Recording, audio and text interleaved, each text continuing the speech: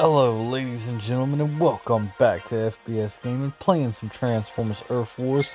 We are in day two of the Rogue Operation event, which is where we introduce the new combiner into the game, and my alliance has already claimed the crystal to give you a four-star maximal high council bot, and I only need Beast Wars Silverbolt to be able to make Magna Boss the new my first ever four star combiner. I got a one in three chance. I'm super excited.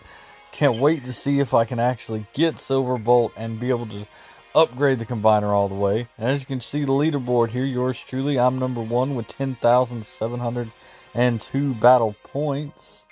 And I'm about to score some more here. We are going to take the swoop squad out for a spin. Let Swoop do what he does, which is devastate. So hope everybody's having a pretty good event. It's a nice little little event. I like this one. I like that it's only 105,000 to get the bot, uh, the guaranteed four star. Although it could be a dupe. You're guaranteed it's a four star, but you're not guaranteed it won't be a dupe. And with me having two of the three I have the lowest possible odds of getting a new one, but I'm not going to let that deter me. Because, as Han Solo would say, never tell me the odds. Alright, taking out these defenses with our aerial bound bots. Gonna go ahead and use a battle booster to freeze that missile launcher just because it's a little out of range and uh, There we go. That should take care of it.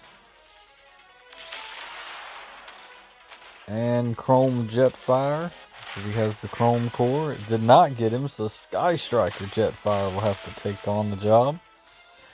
Got way too many Jetfires on this team. You could almost do a Jetfire squad with all the different variations of Jetfire. That just occurred to me. You could do a squad where it's just Jetfire, Cybertronian Jetfire, Jetfire Sky Striker. I'm sure there'll eventually be yet another version of uh, Jetfire. See here, Rodimus Prime is staying back and holding off the Decepticons by himself, and boom, there goes the base. I was distracted by Rodimus Prime being awesome. Alright, getting some XP for some of these bots. Rhinox is almost at 50, Power Magna's on the way, Jetfire is already there, and Rodimus is on his way to 45. Alright, not too shabby. Been a pretty good event so far. Let's take a look, see how the Crystal Kraken's coming along. And it's coming along nicely. I can go ahead and tell you that. We have 12 free chips, 18 free crystals, the 4-star Magna Boss crystal, two gold cores, 10 premium chips, 10 of these chests, uh, the Feastful chest. That'll drop all kinds of goodies and shards. We have a 3-star crystal and one premium. And we still got plenty of event left to go. Not quite halfway through, so lots and lots of goodies. My alliance is doing pretty good. We're doing we're at 120,000. We're doing not too shabby.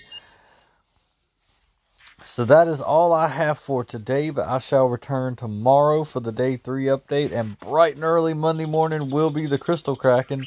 So I will see y'all then. Same bot time, same bot channel. Frankster out.